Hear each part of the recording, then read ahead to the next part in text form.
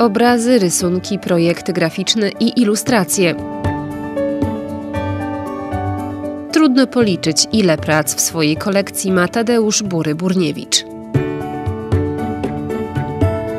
Do pracy używa tradycyjnego pędzla, komputera i wielu innych narzędzi. To może być wszystko po prostu. Zdarzało mi się na przykład malować portret bigosem. Także e, chodzi o, tą, e, o to poczucie e, te, te, takiej dwoistości, że z jednej strony to jest e, to narzędzie, a z drugiej to coś się tworzy, tworzy się obraz i to uderzenie musi być celne.